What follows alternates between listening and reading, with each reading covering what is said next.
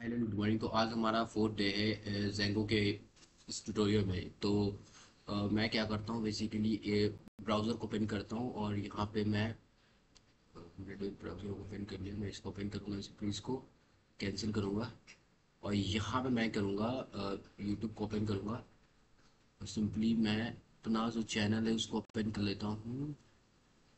Simply YouTube studio पे जाऊँगा और अपना चैनल को करूँगा ओपन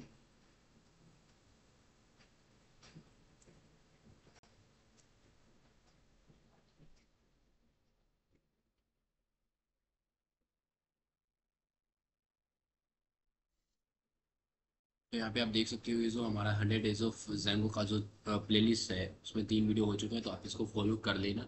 अब मैं क्या करता हूँ बेसिकली आज इस वीडियो में हम लोग एक जेंगो का प्रोजेक्ट को क्रिएट करने वाले हैं तो हम लोग एक देखते हैं हम लोग गूगल सर्च करते हैं how to create a Django project how to create a Django project और इसको हम लोग इंटर करते हैं तो हम लोग एक ब्लॉग को ओपन करेंगे। यहाँ पे अच्छा सा ब्लॉग जो हमें दिखेगा।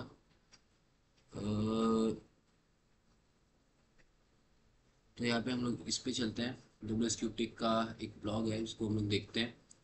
तो उस पर बेसिकली क्या कमांड दिया हुआ है, जिससे हम लोग जेंगो को प्रोजेक्ट को क्रिएट कर सकते हैं तो इसको हम लोग ओपन होने तक का थोड़ा सा टाइम देते हैं। ये ओपन हो चुका है तो जेंगो को क्रिएट करने का सबसे पहला कमांड जो होता है, वो होता है सी इंस्टॉल जेंगो मैं इस पेज पे जाता हूँ तो जेंगो को इंस्टॉल करने का सबसे सबसे पहले तो पीपी इंस्टॉल जेंगो करना होता है तो इसके लिए हम लोग क्या करेंगे? यहाँ पे हम लोग आएँगे। सिंपली हम लोग अपना विजुअल स्टूडियो कोड को ओपन करेंगे अपने जेंगो वाले प्रोजेक्ट पे तो हम लोग क्या करेंगे यहाँ पे? इसको ओपन करेंगे, यहाँ जेंगो वाई पे जाएँगे। और यहाँ पे अपना जो विजुअल स्टूडियो कोड है ओपन करेंगे। तो यहाँ पे विजुअल स्टूडियो कोड ओपन करते हैं। हम लोग यहाँ पे ओपन करेंगे टर्मिनल और टर्मिनल को ओपन करते ही हम लोग इसको सबसे पहले क्लियर करेंगे। एंड सिंपली हम लोग अपना जो ये वर्चुअल इन्वायरमेंट जो मेरा है, उसको हम लोग करेंगे ऑन तो यहाँ पे वर्चुअल इन्वायरमेंट को ऑन करने के लिए मैं माई एन के अंदर स्क्रिप्ट के अंदर एक्टिवेट जो है उसको मैं करूँगा ऑन तो यहाँ पे मेरा वर्चुअल इन्वायरमेंट जो है वो ओपन यहाँ पे हो चुका है।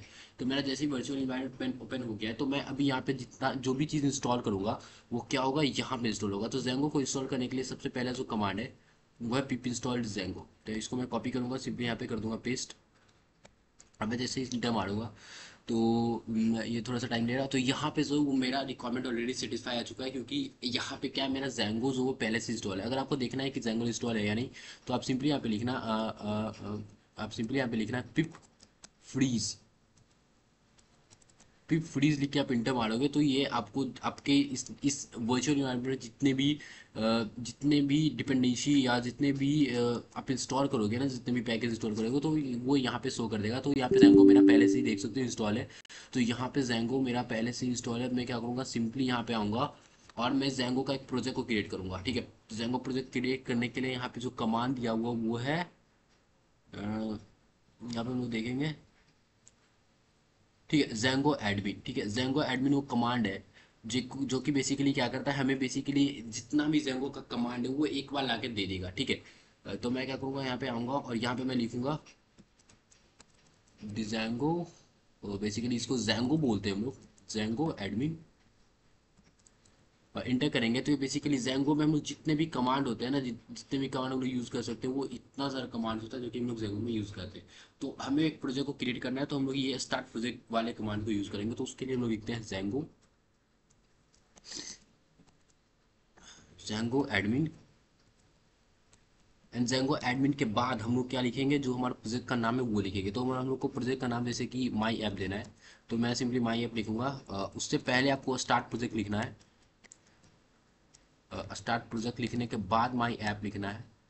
एंड सिंपली इंटर कर देना। तो ये बोल रहा है जेंगो एडमिन ओके मैंने जो स्पेलिंग में थोड़ा सा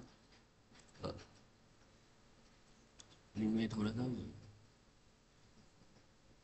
अब मैं इंटर करता हूँ। तो ये मेरा यहाँ पे माई माई ऐप करके जो मेरा फ़ाइल है, वो यहाँ पे जेंगो का एक प्रोजेक्ट जो है वो बन चुका है। तो मैं अभी इसको बंद करूँगा। और सिंपली मैं क्या करूँगा इसको भी मैं बंद ही करूँगा। ठीक है? मैं माई ऐप पे आऊँगा सिंपली इसको ओपन करूँगा। सबसे पहले ब्लू को लार्ज आइकन्स करके सिंपली इसको मैं यहाँ पे ओपन करूँगा। तो मैं इसको ओपन विथ कोड करूँगा। सिंपली मैं जैसे इसको ओपन विथ कोड कर लेता हूँ। तो यहाँ पे बेसिकली मेरा जो माई ऐप है मतलब मेरा जो फ़ाइल का नाम है उसी नाम का एक और फोल्डर इसके अंदर बना है, जिसमें इनिट डॉट पी वाई है A G G I dot P Y है। आप इनिट डॉट पी वाई देखोगे तो ये बेसिकली फ़ाइल एकदम एक कंस्ट्रक्टर के जैसे यूज़ कर रहा है। इसका बेसिकली ये काम होता है क्योंकि ये बेसिकली जितने भी फ़ाइल है ना इस फोल्डर के अंदर, उसको रीड करने में वर्क करता है। एस जी आई का काम होता है ए, इसका फुल फॉर्म होता है asynchronous gateway interface ये बेसिकली इसलिए यूज़ होता है ताकि हम लोग इसको सर्वर पे यूज़ कर पाए। ये दो file A G I and W S G I ये बेसिकली दो ऐसे फ़ाइल होते हैं जो कि सर्वर के लिए यूज़ होते हैं। इस पर हम लोग बेसिकली ज़्यादा चेंजेस नहीं करते। ये सेटिंग डॉट पी वाई आपके प्रोजेक्ट की सारा सेटिंग जो होता है वो इसी फ़ाइल में होता है। ठीक है तो आप हम लोग इसको आगे आगे के वीडियो में चेंज भी करेंगे। And U R S dot P Y आपका जितना भी यू आर एस होगा यू आर एस होगा और यू एस रिलेटेड जितना भी काम होगा, ये U R S dot P Y और manage dot P Y basically वो फ़ाइल है, जिसमें कि हम लोग ये कर, ये जिसमें कि हम लोग ये देखते हैं कि हमारा जितना भी प्रोजेक्ट को मैनेज करने वाला जितना भी काम होगा, वो मैनेज डॉट पी वाई में होगा। तो अब हम लोग ये देखते हैं कि कैसे हम लोग इसको बेसिकली कर सकते हैं रन इसको सर्वर पे रन कर सकते तो यहाँ पे देखते हैं, उसका अगला कमांड क्या है सिंपली तो यहाँ पे देख सकते हो Django in start project my tennis तो, तो ऐसा कुछ यहाँ पे इन्होंने माई टेनिस क्लब ऐसा नाम के प्रोजेक्ट को क्रिएट करा है तो हमारा जो वो था कुछ अलग था तो यहाँ पे सर्वर को रन करने के लिए कमांड है Python manage dot P Y ठीक है? तो मैं यहाँ पे क्या करूँगा मैं यहाँ पे आऊँगा और सिंपली मैं यहाँ पे टर्मिनल ओपन करूँगा और मैं यहाँ पे लिखूँगा Python Python manage dot P Y और Python manage dot P Y run server ठीक है रन सर्वर आप ये लिखना तो आपका जो सर्वर है वो रन हो जाएगा। तो यहाँ पे देख सकते हो मेरा एट हंड्रेड पोर्ट पे मेरा जो सर्वर है वो रन हो चुका है। और आपका जो जो पहला वेबसाइट होता है वो कुछ ऐसा दिखेगा, ठीक है। आपका जो वेबसाइट होगा जो बेसिकली बाई डिफ़ॉल्ट एक टेम्पलेट बना के देता है वो कुछ ऐसा होता है ज़रूर का जिसमें कि आपको ये कुछ ऐसा फ्रंट एंड दिखेगा। तो आप क्या करना, आपको अगर इस सर्वर पे ना रन करके दूसरा सर्वर पे रन करना है, इसको बंद करने के लिए आप कंट्रोल प्रेस सी करोगे, ये बंद हो जाएगा। तो इसको अगर आपको दूसरा सर्वर पे रन करना है तो आप उसका, इसके बाद सर्वर दे सकते जैसे कि मेरे को फोर थाउज़ेंड पे रन करना है तो मैं इंटर कर दूँगा तो ये फोर थाउज़ेंड पे रन होगा। आप जैसे इसको इंटर करोगे तो ये अब क्या हो गया फोर थाउज़ेंड पे रन होगा पहले हो रहा था एट थाउज़ेंड पे, अब ये फोर थाउज़ेंड पे हो रहा है ठीक है? तो ये बेसिकली आज के वीडियो में हम लोगों ने ये देखा कि कैसे हम लोग प्रोजेक्ट को क्रिएट करते हैं कैसे उसको रन करते हैं। जैसे ही हम लोगों ने अपने वेबसाइट को रन करा तो यहाँ पे एक और फ़ाइल बनाया D B dot SQLite three तो जो हमारा जेंको होता है, वो बाई डिफ़ॉल्ट सिक्वालाइट डेटाबेस का यूज़ करता है। तो हम लोग इसके बारे में भी देखेंगे सिक्वालाइट वगैरह सब देखेंगे जेंगो के प्लेस में। तो आज की वीडियो में इतना मिलते हैं वीडियो